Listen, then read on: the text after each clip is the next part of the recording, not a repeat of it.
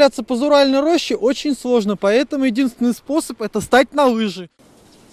Для этого необходимо отправиться на лыжную трассу, которая расположена возле детского пляжа. Для тех, кому нравится кататься на лыжах и любоваться природой, сделаны трассы на 1, 3 и 5 километров. Я занимаюсь где-то примерно уже 7-8 лет.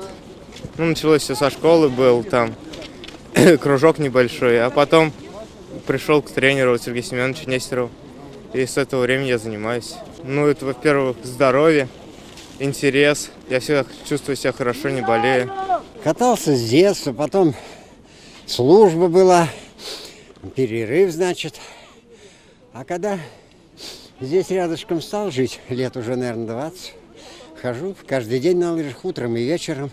Утром я раньше ходил 5 километров, и вечером 5. В этом году немножко сдал.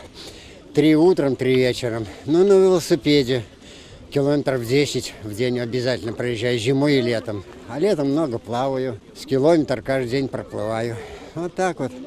Мои, мне что здесь? Мне скорости не нужны. Мне самое главное пропаганда лыжного спорта. Молодежи показать, чтобы они привлекались немножко. Как давно вы занимаетесь лыжным спортом? С пятого класса. А почему вы решили заниматься им? Ну, Потому что это здоровый образ жизни, снег, природа. Красиво, когда бежишь, особенно в, смешанном лесу или там, где сосны. Ну, для себя выбрал, понравилось. И с пятого, с пятого класса бегаю.